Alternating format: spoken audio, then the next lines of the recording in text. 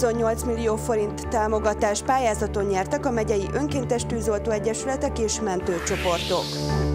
Térségi vásártér épül Békés Csabán, az új piacról tartottak lakossági fórumot a Városházán.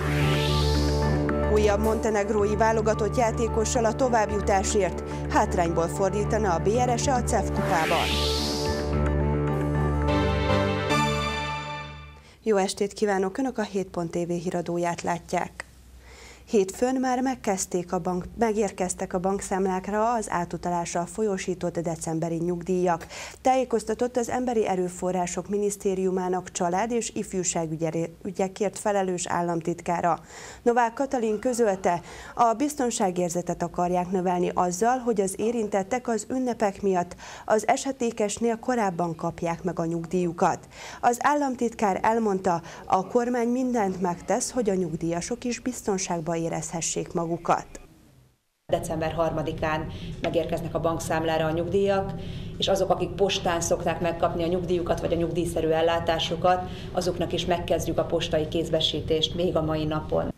A Szeghalmi Járási Ügyészség vádat emel az ellen a férfi ellen, aki márciusban brutálisan bántalmazott és ki akart rabolni egy helyi idős asszonyt.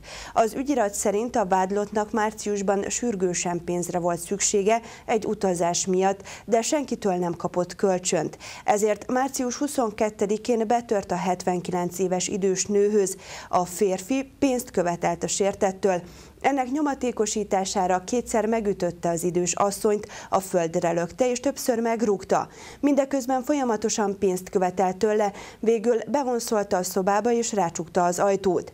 A vádlott kutakozni kezdett a házban, de észrevette, hogy egy autó megáll a közelben, majd mielőtt megérkezett volna a sértett egyik ismerőse, üres kézzel távozott a helyszínről. A rendőrök a férfit még aznap elfogták Hajdú-Bihar megyében. A sértett olyan súlyosan megsérült, hogy még aznap meg kellett műteni, mint kiderült a bántalmazás miatt maradandó fogyatékosság alakult ki nála. Az ügyészség a vádlottal szemben fegyházban letöltendő szabadságvesztést kérvényezett. Közel 28 millió forintos támogatást kaptak a Békés megyében működő mentőszervezetek, önkéntes tűzoltó egyesületek és önkormányzati tűzoltóságok. Az Országos Katasztrófavédelmi Főigazgatóság pályázatán nyert eszközöket Haskó György megbízott megyei igazgatóhelyettestől vehették át a szervezetek képviselői. Ebben az évben először az önkormányzati tűzoltóságok is indulhattak a katasztrófa védelmi főigazgatóság pályázatán. Békés megyében három városi tűzoltóság összesen 12 millió forint értékű eszköztámogatást nyert.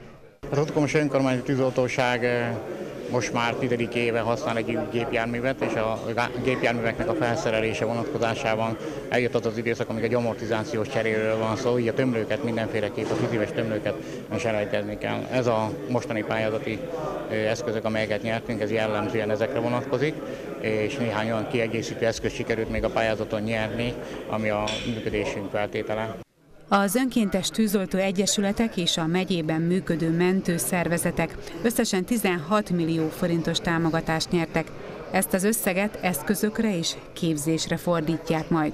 Egyesületünk ezen a katasztrófavédelmi pályázaton kettő fő mentőbuvár képzésére kapott támogatást. Ezzel is ugye tovább tudjuk növelni a az árvízi védekezésnél, illetve egyéb belvízi védekezésnél a búvárok számát. Haskó György megbízott megyei katasztrófa védelmi igazgató helyettes az átadó ünnepségen kiemelte, hogy a pályázó szervezeteknek más forrásból kevés lehetősége van ilyen hiánypótló vagy elhasználódott eszközök beszerzésére. Összesen 6 önkéntes mentőcsoport, 18 önkéntes tűzoltó egyesület és 3 önkormányzati tűzoltóság kaphatott ma támogatást tőlünk. Az Országos Katasztrófa Főigazgatóság által 2018 évben kiírt pályázatokról van most szó. A támogatások összértéke Békés megyében 28 millió forint. Haskó György kihangsúlyozta, nagyon fontos az önkéntes tűzoltók és mentőcsoportok tevékenysége, így a jövőben is számítanak a munkájukra. E-ügyintézés cégkapu a digitális fejlődés címmel rendezte konferenciát kedden Békés Csabán.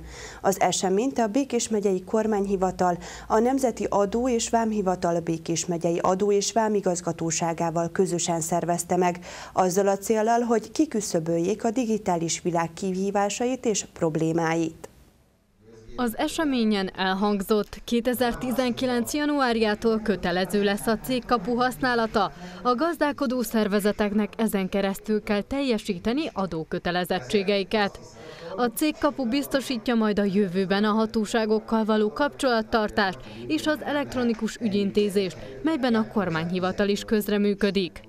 A kormányhivatal az ügyfélkapu oldaláról és a cégkapu oldaláról is természetesen, hiszen különböző engedélyeket akár tevékenysége, akár működésre ad ki a vállalkozásoknak, és a cél az, hogy ezt a lehetőséget biztosítsuk, hiszen a kormányhivatalnak is egyszerűbb és gyorsabb, hogyha a gazdálkodó szervekkel elektronikusan tart kapcsolatot. A konferencia célja az volt, hogy tájékoztatást adjanak a gazdálkodó szervezeteknek a cégkapu használatáról. Azért szerveztük a mai fórumot a NISZ ZRT-vel és a NAV központi irányításával együtt, hogy megismerjék azt a rendszert, amit alkalmazniuk kell január 1-től. Nek az egész digitalizációnak a célja, hogy az adózók könnyebben, gyorsabban, átláthatóbban, egyszerűbben tudják teljesíteni azon kötelezettségeket, amiket az állam velük szemben felállít az adófizetés és adókötelezettségek terén.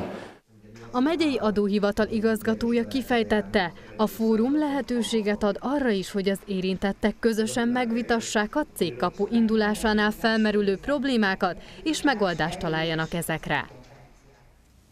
Soha senki nem tett annyit Magyarországért, mint a kommunisták, fogalmazott a munkáspárt elnöke szombaton a Szlovák Kultúra Házában.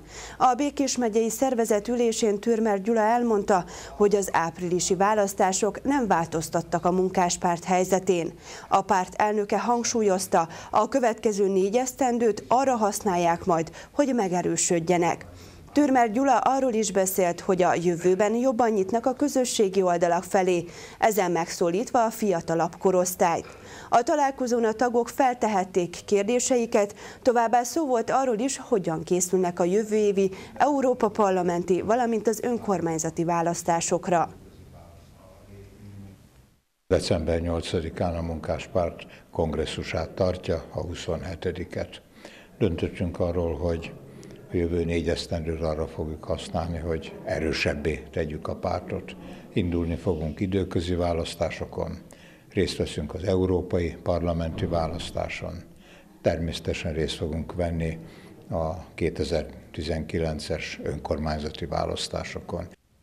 A mostani nagybani piac helyén térségi vásártér épül Békés Csabán. Az Óbuda Építés Stúdió Kft. elkészítette a látványterveket, amelyről az érintettek is elmondhatták véleményüket a Városháza dísztermében hétfőn. A tervek szerint így néz ki majd a jövőben a Békés Csabai térségi piac. A lakossági fórum célja az volt, hogy az érintettek is megismerhessék a beruházás részleteit. Létrehozunk a nagybani piacnak a területén egy fedett vásárcsarnokot, a vásárcsarnoknak a csatlakozásaként pedig egy félig nyitott, félig té, fedett vásárteret, ami ilyen asztalos módon történő árusításra ad lehetőséget, illetve a parkolási gondokat is megpróbáljuk megoldani, egy többszintes parkolóházat fogunk építeni. Csernik Tamás, az Óbudai Építés Stúdió Kft. szakembere a látványterveket bemutatva kifejtette, a parkolóház építésével az új piac területén 430 gépkocsi és 480 kerékpár elhelyezését tudják biztosítani. Magára az egész területre nézve minden oldalán parkolóhelyek találhatóak, a megközelítése minden, minden oldalról lehetséges, ezért egy egy olyan épületet biztosítunk, ami, ami, aminek van főbejárata, de minden oldalról magas értékű bejáratok biztosíthatóak. A lakossági fórumon jelenlévő kereskedők elsősorban arról érdeklődtek, hogyan tudják majd az árut a helyszínre vinni az új létesítményben. A másik aggája az volt a megszólalóknak, hogy a kivitelezési munkálatok alatt hogyan tudják megoldani az árusítást minden nap ott lévő üzlet tulajdonosok, akik ott vannak, azok nyilvánvalóan meg tudják oldani ezt a problémát. De akik szerdán, szombaton, reggel 2 óra, 3 órakor, 4 órakor kelnek, és tonnákat pakolnak azért, hogy reggel 7 órára, amikor a vásárló érkezik, akkor felkészüljön. Na most itt ez a problémakör van, hogy, hogy egyszer érkezünk, Dr. Sódar Anita, a Városfejlesztési Kft. cégvezetője válaszában kihangsúlyozta, az árufeltöltési útvonalakat újra átgondolják majd. Kozma János arról biztosított mindenkit, hogy a vásártér kivitelezésénél is találnak megoldást arra, hogy mindenki árusíthasson. A Békés Csaba vagyonkezelő ZRT vezérigazgatója szerint az azonban már most megállapítható, hogy nem minden standot lehet majd autóval megközelíteni. Elkezdődött Jaminában a már hagyományos ökumenikus advent sorozat. Az első vasárnapon a katolikus templomnál gyűltek össze a családok, ahol a rendezvény középpontja a gyerekeknek meghirdetett karácsonyfa díszítő verseny volt. Tudjuk, hogy eh, mire és kire várunk. Bauer Csaba atya adventi gondolatai nyitották meg a programot. A templom plévánosa felhívta a figyelmet arra, hogy a karácsony előtti négy hét a Jézus eljövetelére való várakozással telik. A mindennapjaink is egy ilyen adventi időszak, hiszen a hívő keresztény ember, de még talán aki úgy érzi, hogy Istentől távolabb van, még nem érezte, nem tapasztalta meg az ő közelségét, ő is vár valamire, és legfőképpen vár valakire. Az ünnepváró hagyomány természetesen családonként más és más. Van, ahol például a Jézuska már karácsony előtt meghozza a fenyőfát, amit aztán az egész család együtt díszít fel. Ha egyik reggel ott találjuk a nappaliba a fát, akkor a meglévő díszekkel szépen feldíszítjük, és hát így ez egy ilyen közös, közös program, az egész család. A csapatmunkában szerzett gyakorlat jól jött ezen a megmérettetésen, a versenyzők ügyesen dolgoztak együtt a templom kertben álló fenyőfákon. Egyes szakértők szerint össze-vissza kell feltenni a díszeket, hogy jusson mindenhova. Mert úgy szebb lesz. Úgy olyan lenne, mintha kiszíneznénk a karácsonyfát. Ennek érdekében pedig a feladatot különféle segédeszközökkel kellett megoldani. Létrával. És te fölmásztál a létrára? Még nem. De mernél fölmászni? Igen.